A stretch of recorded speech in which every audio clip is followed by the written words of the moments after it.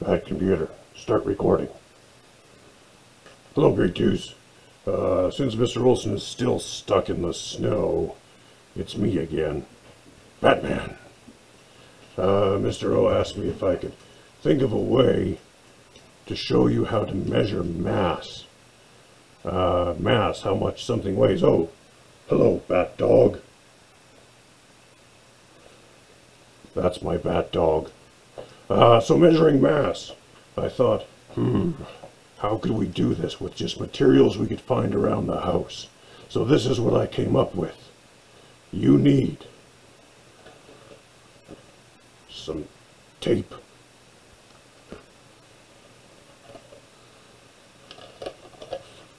Two cups. Any kind of cup will do. Could be a styrofoam cup, a paper cup, even sour cream containers, yogurt containers, anything like that that you could put stuff in that's not too big. You need six pieces of string, all the same length, and one bat hanger, or coat hanger as you might call it. Uh, I just have a plastic one here. Yeah, really any kind of clothes hanger should do. Uh, this is the one that I hang my cape on when I am not using it. Uh, so any kind of hanger that you can find. So uh, hold on for a second. I'm going to start putting some of this together and I'll show you step by step how this is going to work. So the first thing you need to do is take your three pieces of string and tape them on the three sides of your cup so that it hangs nice and straight.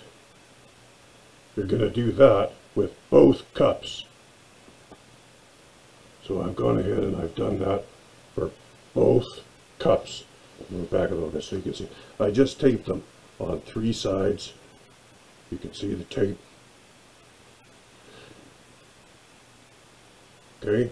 Uh, then the next step is going to be attaching them to the hanger. So here we go. I've attached them to my hanger, one at each side, and I just tied them on with a knot.